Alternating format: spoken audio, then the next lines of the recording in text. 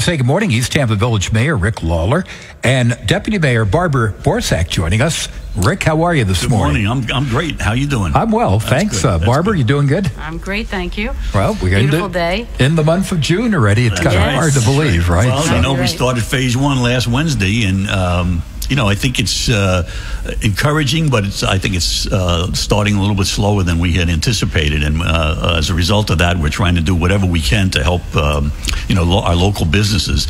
And of course, the two biggest ones, like I said last time, are construction and uh, retail business for us. So we're trying to do what we can to help them. Construction, I think, is uh, off with a starting off with a bang uh, because it's been pent up for so long. But uh, retailers, I think, uh, it's going to be a slow recovery, and uh, Barbara has some information on that that she'll let you know about. Well, uh, Rick and I were, have been meeting with a committee of retailers over the last three or four weeks, actually. Now, um, there's an, a separate committee that's meeting with restaurateurs and, and trying to find ways that we can assist all of them as they try to reopen. And we are relaxing our codes uh, to allow them to do some things that normally wouldn't be allowed. But that's something that we can do for them this year to help them get back on their feet. Um, but everybody has to remember businesses that they have to file a New York State safety plan to reopen, and they can can go to New York Forward and find those forms that they need to fill out and file for the for their re- reopening. It's a safety plan that everybody has to go through. Um, I did want to talk uh, for a minute though about something that's going to happen on Sunday. Uh, two members of the high school class of 2016 have requested a permit for a peaceful protest to stand in honor of George Floyd and to stand in solidarity with members of the black community here and across the country. And we're in the process of working that permit for them. So mm-hmm. we anticipate that that will happen at the Hook Mill on Sunday between 2 and 5. Um, they're looking to create space for conversation and reform, which we think is a good thing. And so we certainly stand with them in that. And um, we'll have more details on Thursday probably okay, when we come. So, yes, that sounds good. yeah, that sounds good. And uh, I think that we had uh, a demonstration like this several years ago, and it went off very peacefully, and it was I think it was a good thing for the community. So right. we're looking for the same thing to happen uh, this time around.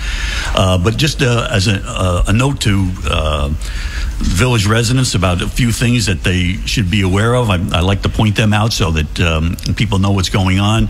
Um, as far as our restaurants, when they begin to open, uh, the subject has come up about uh, off-premise consumption of alcohol, and you know now with takeout, uh, they're allowed to have it, but it must be in, uh, the sale of it must be in conjunction with the sale of food, and uh, so then there's a, a, a, another issue that comes up with would they be allowed to have uh, in effect off-premise consumption with if they're outside of the restaurant. So uh, that uh, issue was brought to the governor, and he's uh, told us that uh, he will speak to SLA about making some arrangements for that. So we're anticipating that that will happen, so that uh, that won't be an issue when when the time comes.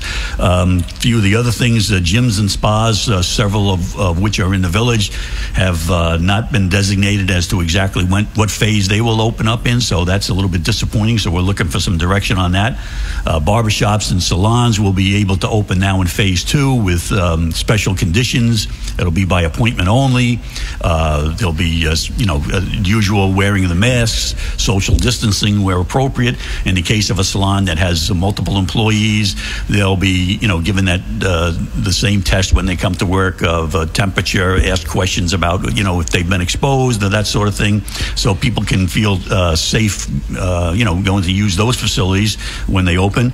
Um, and then as far as uh, a uh, few other things, uh, the uh, property tax, which is due June 1st, has been extended for 21 days. We're hoping that maybe it'll be extended a little bit further. Uh, we'll hear more on that. Uh, it could be as, as long as 45 days, but for now, it's been extended from June 1st to June 21st without penalty. So you could you have up until June 21st to pay your taxes without penalty. Um, and again, we uh, also were looking at a bike share company that may possibly uh, oh, come into Village this season, but it looks like that's not going to happen.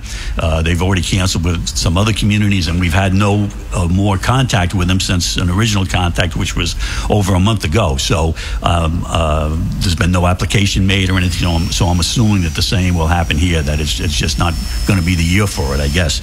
Um, and then uh, also DMV, people should know that uh, uh, in phase two coming up, they'll will open up some of their services, so you'll be able to do what you've always been able to do: online services. Uh, those have been expanded, and then for those instances where you actually have to give them physical paperwork, they'll they'll have a drop box available at, at their offices that you can leave paperwork there. So uh, people should know about that.